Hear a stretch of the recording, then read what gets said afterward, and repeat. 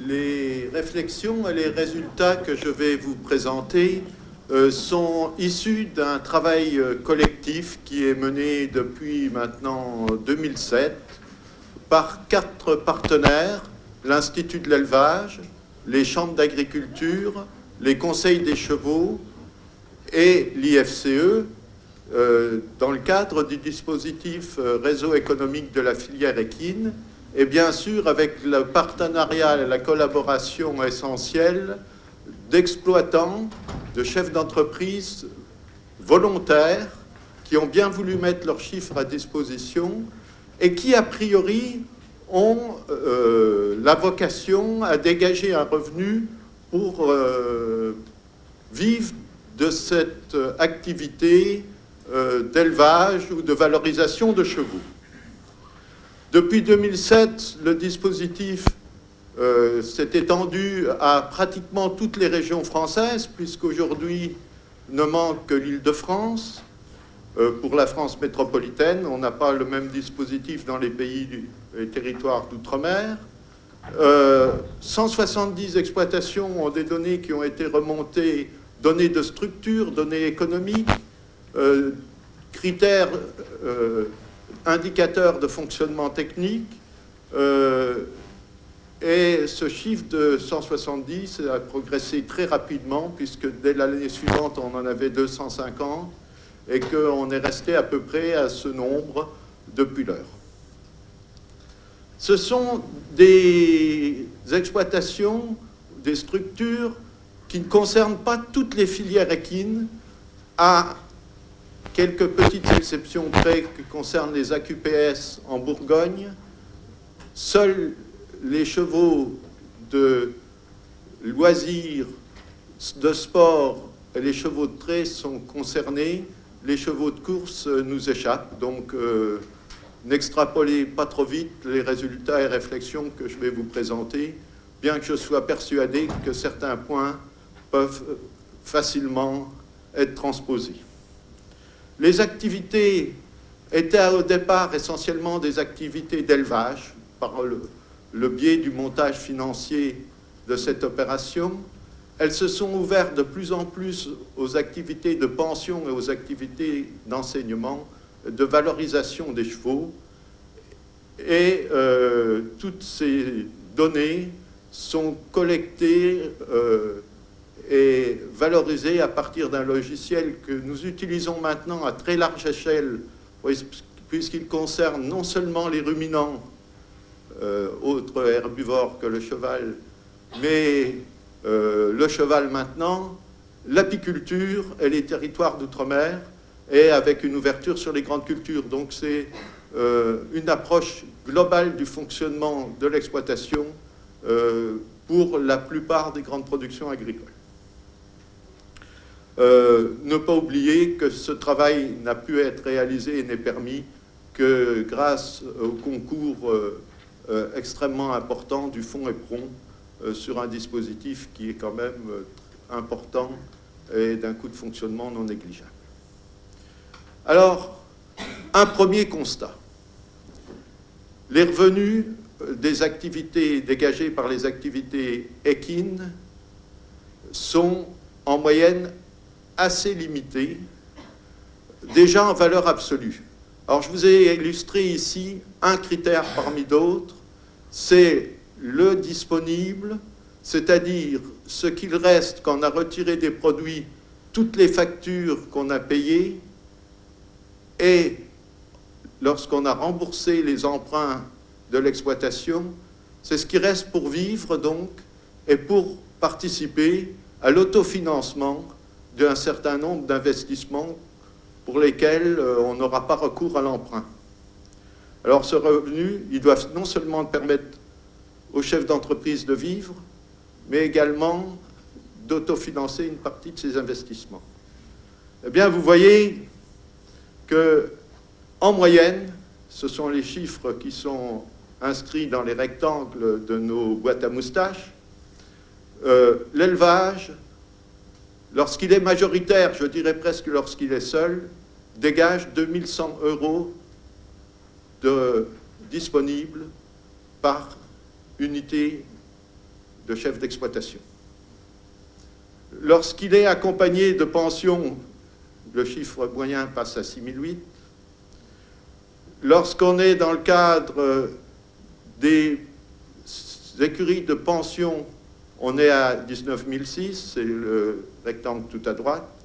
Et pour les établissements équestres ou les fermes équestres, on a 20 100 euros. Alors, une première comparaison, ça peut être de faire passer cette barre rouge, ce trait rouge horizontal qui correspond au niveau du SMIC, et on voit à peu près euh, comment se situent les différents rectangles. Alors, ils sont faibles, mais vous voyez, en particulier par rapport à la moustache supérieure, que ce n'est pas vrai pour tous. Il y a quand même dans le quart supérieur des gens qui dégagent des revenus, qui peuvent, euh, dans le cadre par exemple des établissements équestres, euh, dépasser les 60 000 euros. Il y a même des points isolés, là, les points qui sortent de la boîte à moustache qui sont bien supérieurs. Et même en élevage, on peut atteindre 40 000 euros. Malgré tout, il y a aussi des moustaches basses. Et celles-là, vous voyez, elles sont dans des résultats négatifs. Si on compare ces structures spécialisées dans les activités équines aux structures diversifiées avec d'autres productions agricoles, en partant du bleu qui est le lait, en passant par la viande en rouge et les grandes cultures en jaune, on voit que les niveaux de revenus dégagés dans les systèmes, euh, dans les systèmes diversifiés sont quand même nettement supérieurs, euh, au moins pour le lait et les céréales. Alors, vous me direz, est-ce que ce sont les autres productions agricoles qui tirent vers le haut ou est-ce que la mixité en elle-même intéressante? Eh bien, un premier trait nous montre ce qu'il en serait pour des exploitations laitières spécialisées.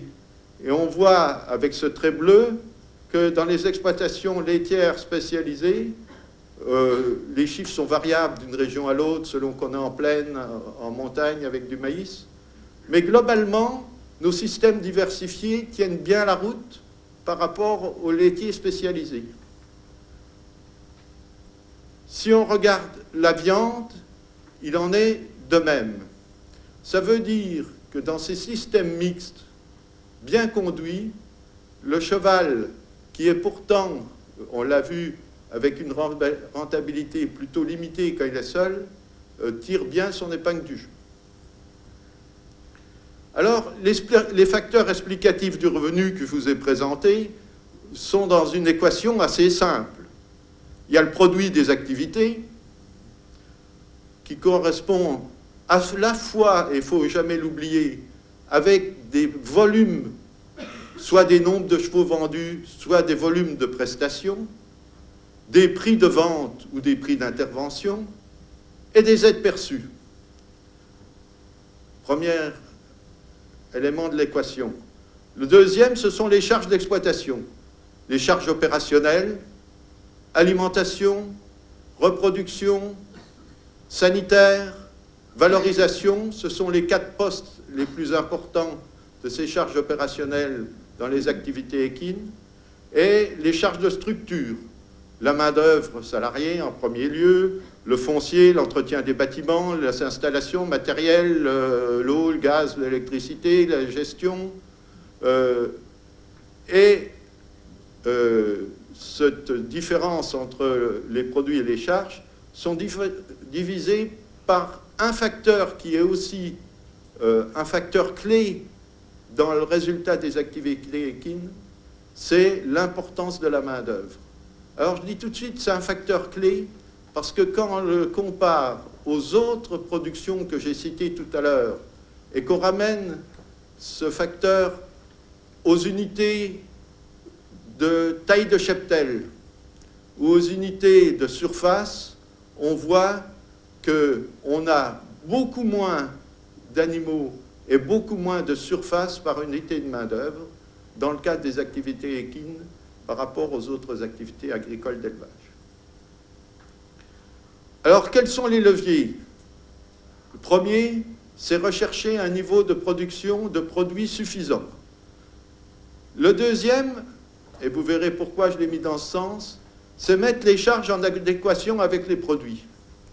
Et nous avons pour ce faire, pour toutes les productions, un critère qui nous plaît bien, c'est l'excédent brut d'exploitation ramené aux produits dégagés. Et enfin, c'est améliorer la productivité de la main-d'œuvre. Alors, dans ce tableau un peu plus complexe où nous avons en ligne par ligne eh bien, d'abord les exploitations diversifiées que je vous ai euh, signalées tout à l'heure, et en dessous les structures spécialisées. On voit dans la première colonne colorée des chiffres surlignés en vert. Oui, ça se traduit bien par du vert à l'écran. Et on a là un chiffre vert 41% 42%, c'est les établissements équestres, d'excédent brut d'exploitation sur le produit brut. Alors, c'est des chiffres qu'on essaye d'obtenir, je ne dis pas qu'on y arrive toujours, dans les grandes productions classiques, et on voit là que pour les activités équines, on rejoint l'efficacité économique des euh, productions euh, de lait ou de viande ou de vin euh, chiffre un peu qui a un objectif. C'est pourquoi on l'a signalé. À l'inverse, on voit les activités d'élevage. Élevage pur, 3% en rouge. Élevage avec pension, 12%. Donc, euh, bien voilà, euh, un, un, gros, gros problème d'efficacité économique. Alors, quels sont les leviers? Je vais en citer un parce qu'il impacte les trois composantes à la fois. C'est un constat évident, je ne dis pas que le problème est facile à résoudre. C'est réduire, j'allais dire, si ce n'est pas un trop gros mot, éliminer les animaux improductifs et les chevaux improductifs. Alors c'est évident, s'ils sont improductifs, c'est qu'ils ne produisent rien, ils ne produisent pas de poulains, ils produisent pas d'heures d'équitation, ils mangent, ils coûtent du vétérinaire un temps soit peu, et ils occupent de la main-d'œuvre un temps soit peu. Donc ils ont toutes les charges et aucune production. Alors, quels sont ces animaux? C'est les, les, juments infertiles ou subfertiles. Et ceci, dans les autres productions animales et je ne suis pas spécialiste des monogastriques, mais euh, vous le savez sans doute autant que moi, pour le porc, une truie qui ne se reproduit pas, elle est éliminée tout de suite. C'est un des premiers critères pour augmenter la productivité numérique. Pour les troupeaux de viande, c'est aussi euh, un peu la chasse aux vaches qui ne se reproduisent pas régulièrement et qu'il ne faut pas un veau par an. Ici, au niveau des chevaux, on a ces deux types d'animaux, à la fois ceux qui se reproduisent mal, mais en plus ceux qu'on ne met pas volontairement à la reproduction, euh, souvent parce qu'on a déjà assez de chevaux invendus et que, ma foi, on n'utilise pas toutes les juments par moment, ou alors parce que, euh, pour des causes d'infertilité, on a euh, des cycles de reproduction qui se décalent trop c'est les chevaux non vendus. Et ce qui nous a frappé dans les premières analyses que l'on a faites dès le départ du réseau, c'est le faible nombre de poulains ou de jeunes chevaux vendus par juments mis à la reproduction. C'était un critère qui m'avait frappé. Moins de 5 poulains ou jeunes cheval euh, valorisé ou non, vendus par juments mis à la reproduction. C'est quand même euh, un critère très très faible. Et puis, c'est le problème qu'on évoque de plus en plus des chevaux à la retraite, euh, parce que ce sont des juments de l'exploitation, parce que ce sont des chevaux qu'on servit dans les centres équestres et qu'on garde, parce qu'il faut le dire, on ne les met pas à l'abattoir. Alors, une des solutions, elle n'est pas si simple, de nombreuses exploitations qui ne veulent pas recourir à l'abattage, euh, c'est euh, externaliser le problème, vendre ses chevaux ou les donner. Et dans nos prix de chevaux, on a beaucoup de chevaux à 1 euro. Euh, ce n'est pas des artefacts de saisie de données. C'est des chevaux qui partent vers des gens qui veulent bien en poursuivre l'utilisation, au moins les héberger, parce qu'ils ne coûtent plus rien à la structure. Augmenter les produits. Dans cet histogramme, on voit la première barre, dans 68% des cas, 70%, on a un produit de moins de 100 000 euros, et le produit est de 36 000 euros en moyenne, pour des structures qui ont 1,5, 1,7, presque deux unités de main-d'œuvre. On voit qu'avec un produit de ce type-là, on ne peut pas dégager un revenu plus élevé. 37 000 euros en moyenne. Alors, augmenter les produits, c'est un objectif, je dirais que c'est le premier de tout détenteur de cheval. Et j'ai mis en première interrogation, est-ce un objectif accessible? Trop souvent, pour atteindre cet objectif, on met une augmentation de charges sans retour sur investissement. Et ça, c'est quelque chose d'assez récurrent. Euh, plus d'alimentation, plus de génétique, plus de vétérinaires, plus de valorisation. Et quand on regarde ces exploitations-là, le même produit à la fin, ou quasiment. Ou du moins, pas une augmentation proportionnelle des produits et des charges. Alors, ne me faites pas dire ce que je n'ai pas dit. Il y a quand même des marges de manœuvre. C'est augmenter les prix, mais il y a la limite du marché, que ce soit pour les ventes de chevaux ou que ce soit pour les prestations. Sur une année où on a vendu, là, où on a saisi les données de 497 chevaux de sel, on voit que la moyenne est de 6660 euros, la médiane de 3900 euros, et que les chevaux bien vendus ou vendus à des prix élevés sont quand même relativement peu nombreux, 16% pour les chevaux à plus de 10 000 euros et 5% pour les chevaux à plus de 20 000 euros. Et là, de manière assez récurrente, on tombe sur des prix qui sont euh, souvent euh, et en moyenne relativement limités. Bernard, il te reste deux minutes. Hein. Oh, il faut que je me dépêche. C'est augmenter les ventes. Et là, je pense qu'il y a un critère essentiel pour vendre des poulains, pour vendre de bons poulains, il faut déjà avoir des chevaux qui naissent. Donc, euh, c'est le choix des reproducteurs, qu'ils soient mâles ou femelles, c'est le choix des techniques. C'est également les transactions à mettre en œuvre. Et il y a des démarches collectives là pour euh, améliorer la vente des chevaux. C'est pas sans difficulté, c'est des démarches euh, importantes.